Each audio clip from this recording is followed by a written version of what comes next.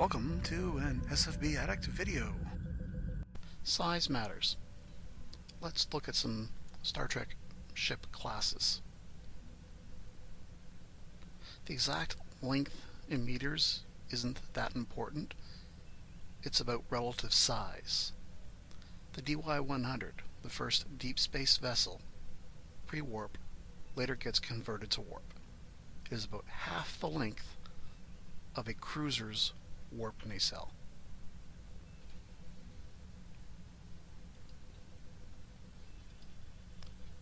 The F-1300, a civilian freighter, a little longer than a cruiser's nacelle.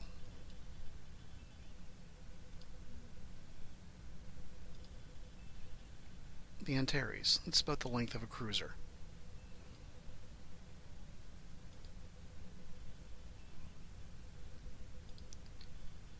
And then we have military vessels, or Starfleet vessels. The PC, or Patrol Corvette, is the smallest vessel Starfleet would have. It's used for piracy or policing patrols, often seen at colony worlds, bases, and major trading routes. Armament's typically about one photon and a couple of phasers.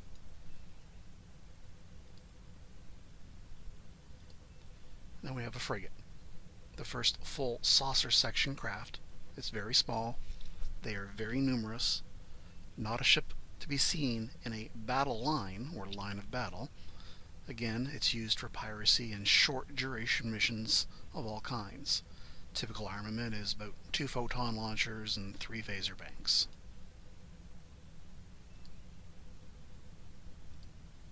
And then we have the destroyer, the tin can.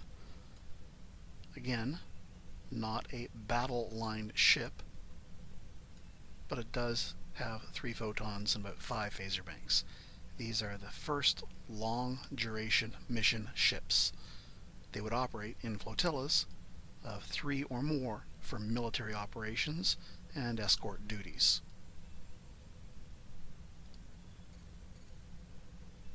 And then we have the light cruiser, the first battle line ship. Typical armament is two photons, five phaser banks, or four photons, four phaser banks. Long duration missions, some will have the nacelles above or below. The configuration will vary from ship manufacturer to ship manufacturer. Some will even have an external gun deck for more firepower. About 20% more expensive than a destroyer, but they often operate alone. They are not as plentiful in numbers as destroyers and the other smaller ships. The larger the ship, the fewer of them there are. And then we have the cruiser, a battle line ship. Typical armament is four photons and six phaser banks. Long duration missions, some may be heavy cruisers with less crew and laboratory space in exchange for two more phaser banks. And again, there are many configurations.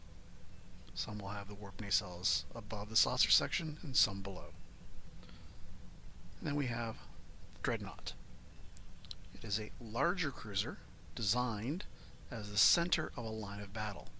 These never operate alone.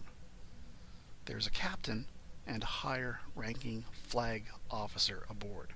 The captain fights the ship and the flag officer fights the entire battle fleet.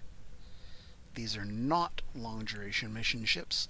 They spend most of their existence docked at starbases and battle stations. It is rare to see these deployed away from such bases unless it's a time of war.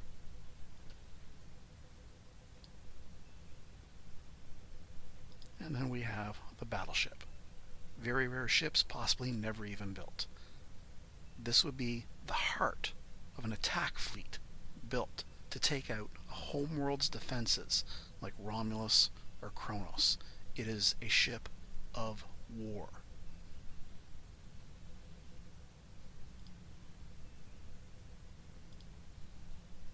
Now the size comparisons. PCs are very small. Call it 40 units of measure and width.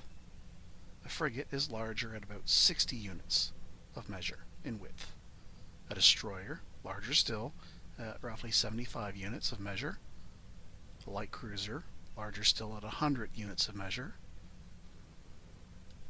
The cruiser or heavy cruiser, 120 units of measure. The dreadnought, about 140 units of measure. And the battleship at 160 units of measure and width.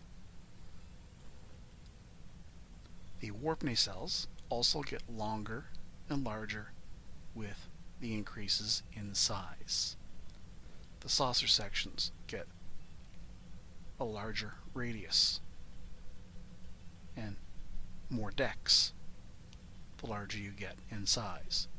You do not get a dreadnought by taking a heavy cruiser and simply adding a third warp nacelle. Dreadnoughts are larger and that extra mass is why the third nacelle is needed. It's needed to make a larger warp bubble to accommodate that mass.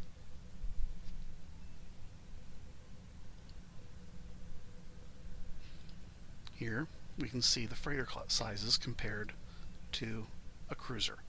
So the DY100 about half the length of a warp nacelle, maybe a little longer. The F1300, it's about the length, a little bit more than the length of a cruiser's warp nacelle. And the Antares freighter, it's about the same size as a heavy cruiser. And last, we have a tug. The tug would have a saucer section the size of a light cruiser, but the warp nacelles the size of a dreadnought.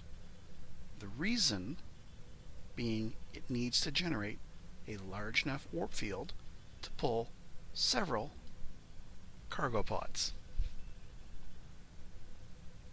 When it comes to the multiple tug pods, the more pods you have, the weaker the warp bubble would be, and the slower the tug would be. There you go. You now know why size matters.